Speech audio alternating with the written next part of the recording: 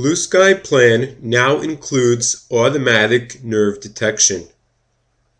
In order to automatically determine the nerve, position the cross-section slices so that you see a slice that clearly shows the entrance to the mental foramen. Press the Add Nerve panel to open the nerve panel on the right side of the screen. Select the Detect Nerve option and then left-click as indicated below in the cross-section slice in the area of the entrance to the mental foramen. We can now see that the software has automatically indicated and drawn the nerve correctly.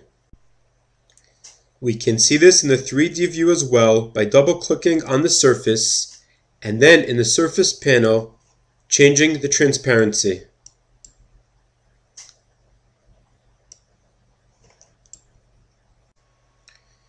We can draw the second nerve as well by once again left clicking in the axial view in the area of the entrance of the nerve so that we clearly see it in the cross sections view.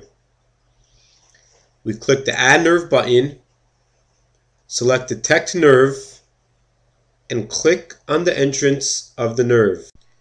We can see that the software has drawn the second nerve as well.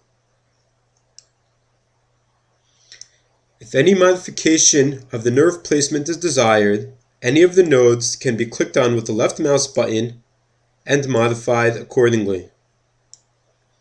The nerve settings can also be modified in the nerve panel where the color and width and visibility of the nerve can be modified accordingly.